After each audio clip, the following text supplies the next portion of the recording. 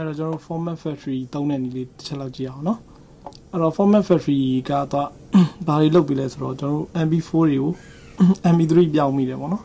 အဲ့ညမှာသုံးမယ်ပေါ့နော်အဲ့တော့ format factory ဖွင့်ခင်မှာကျွန်တော်တို့ဒီမှာ video file လေးရှိတယ်ပေါ့နော်ဒီမှာ baby boss baby boss ဆိုတဲ့ file လေးပေါ့နော်အဲ့ကောင်လေးကျွန်တော်တို့အတန်ဖြစ်ပြောင်းမယ်ဆိုလို့ရှိရင်ဒီကောင်လေးကိုဖွင့်ကြည့်ကြည့်ပေါ့နော် ဒါ video file ပေါ့နော်အဲ video file ကိုကျွန်တော်က mp3 ပြောင်းချင်တယ်ဆိုလို့ရှိရင်ဒီ format factory တောင်းပြီးတော့ပြောင်းလို့ဟုတ်နော်အဲတော့ format factory လေးကိုနှစ်ချက်နှိပ်ပြီးတော့ဖွင့်လိုက်အောင်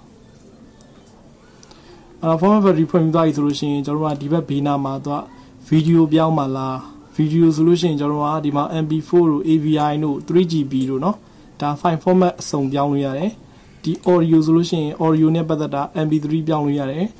WME ပြောင်းလို့ရတယ် FLAC ပြောင်းလို့ရတယ် AAC ပြောင်းလို့ရတယ်ဟုတ်ပြီနော်ဒါပေမဲ့ကျွန်တော်တို့အပြင်လောကမှာသုံးတာအများဆုံးသုံးတာတော့ MP3 ပဲသုံးတာများတယ်ဟုတ်ပြီနော်အဲ့တော့ခုနကကျွန်တော်တို့ baby post လေးကိုကျွန်တော်တို့ကဒီ MP3 file format အနေနဲ့ပြောင်းမယ်ပေါ့နော်အဲ့တော့ဒီမှာတစ်ချက်နှိပ်လိုက်တယ်နှိပ်ပြီးတော့ကျွန်တော်တို့ဒီမှာဒီပေါက်လေးပေါ်လာလို့ဆိုလို့ရှိရင် F file ဆိုတာပေါ်လာလိုက်မယ်နော်အဲ့တော့ကိုပြောင်းခြင်းတဲ့ format ကိုယင်နှိပ်ကြရနော် all to mp3 ဆိုတဲ့ဟာလေးကိုတစ်ချက်နှိပ်မယ်ပြီးတော့ကျွန်တော်တို့ကဒီမှာ app file လေးတစ်ချက်နှိပ်မယ်ပြီးရင်ဘယ်မှာရှိရလဲဆိုတော့ desktop မှာရှိတာအာ desktop မှာကျွန်တော်တို့အဲ့မှာ baby posi ဆိုတဲ့ဟာလေးเนาะဒီကောင်လေးကိုရွှေ့လိုက်မယ် open နှိပ်မယ်ဟုတ်ပြီเนาะ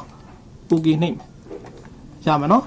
ဒါဆိုရင်ကျွန်တော်တို့ကပြောင်းလို့ရပြီလားဆိုတော့ဒီမှာမြန်မာစာနဲ့တော့ပါလာရယ်เนาะအဲ format factory မှာ error တက်တာဒီမြန်မာစာတွေ error တက်တာပေါ့နော်ဒီ stat နှိပ်တယ်ဆိုလို့ရှိရင်ကျွန်တော်တို့ကပြောင်းဝင်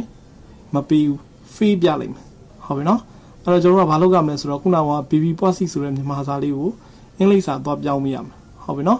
ဒါကျွန်တော်တို့ဒီမှာဒီမရဘူးဆိုတဲ့အကြောင်းကိုကျွန်တော်တို့ကပြစီခြင်းလို့လုပ်ပြတယ်ဆိုတဲ့သဘောမျိုးနော်ဒီမှာ clear list ဆိုတာလေးတစ်ချက်နှိပ်ပြလိုက်ဒါဆိုရင်တို့ကဒီမှာမရှိတော့ဘူးပေါ့နော်အဲ့တော့ခုနက baby posi ကိုကျွန်တော်တို့ကမြန်မာစာကိုအင်္ဂလိပ်စာပြန်ရေးပြီးမယ်ဟုတ်ပြီနော်အတူခောက်လေးပဲရိုက်ထားလိုက်ပေါ့နော် baby ဆိုတဲ့ဟာလေးရိုက်ထားမယ်နော် ဒါမှသာလင်ကျွန်တော်တို့ format factory ကပြန်ပြီးတော့လက်ခံပေးမှာပေါ့နော်အဲ့တော့ auto mp3 ဆိုတာကိုပြန်နှိပ် f5 နှိပ်မယ်ပြီးရင်ခုနကကျွန်တော်တို့ဒီမှာ baby ဆိုတဲ့ mp4 file လေးပေါ့နော်အဲ့ကောင်လေးကိုနှစ်ချက်နှိပ်ပြီးတော့တွင်းလိုက်မယ် okay နှိပ်မယ်ဒါဆိုကျွန်တော်တို့ဒီမှာမြန်မာစာမဟုတ်တော့ဘူးเนาะအင်္ဂလိပ်စာဖြစ်တဲ့ကြောင့်မို့ကျွန်တော်တို့ကဒီ format ကိုသူကပြောင်းပေးလိုက်မယ်เนาะအဲ့တော့ step ကိုတစ်ချက်နှိပ်မယ်ဒါဆိုရင်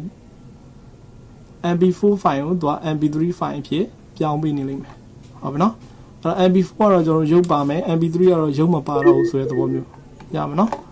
အဲ့တော့ output folder မှာတစ်ချက်ဖွင့်ပြီးတော့ကြည့်မယ်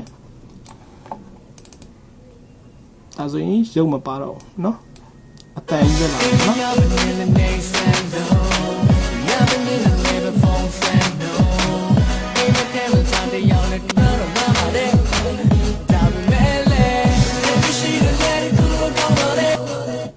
ကျွန်တော်တို့ဒီမှာ mp3 ဖြစ်သွားပြီเนาะ file format ကိုကြည့်ချင်တယ်ဆိုရင်ကျွန်တော်တို့ဒီမှာ view ထဲကနေပြီးတော့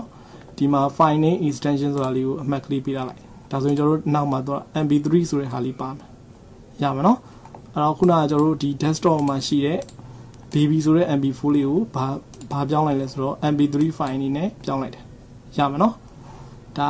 mp4 ကနေ mp3 ပြောင်းတဲ့နည်းလေးပေါ့เนาะဒီနည်းနဲ့ကျွန်တော်တို့ကဒီ Sire custom မှာလာမယ်ရုပ်ပါတဲ့ဟာတွေကိုကျွန်တော်တို့က အတန်ဖြစ်ပြောင်းပေးပါဆိုလို့ရှိရင်ကျွန်တော်တို့ကဒီနည်းလေးနဲ့ပြောင်းပေးရမယ်ရမယ်နော်ဒါ mp4 ပြောင်းတဲ့နည်းလေးပေါ့နော် format factory သုံးပြီးတော့ပြောင်းတဲ့နည်းလေးဒီမှာ clear list လုပ်လိုက်မယ်ဆိုလို့ရှိရင်တော့ဒီမှာမရှိတော့ရမယ်နော်အဲသူပြောင်းလို့ရတဲ့နေရာလေးအများကြီးရှိတယ် audio ရှိတယ် video ရှိတယ်ရမယ်နော်